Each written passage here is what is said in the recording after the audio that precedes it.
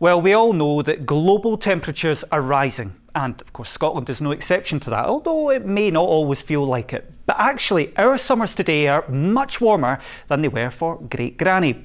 Now, Edinburgh, Aultbea, and Oban had their hottest day on record back in 2019. And here we go, big list coming for you. Glasgow, Aviemore, Tyndrum, Salsburgh, Drumnadrochit, Aboyne, Braemar, Dalwhinnie, Eskdalemuir and Strathallan all had their hottest day on record in 2018. So we've had a run of high temperature records recently, and I reckon that we could break the all time Scottish record of 33 degrees in the next few years. And if we were to strip it all back to the longest serving weather stations, where we've got 50 years of records or more, then 71% have had their warmest July day in the last 20 years.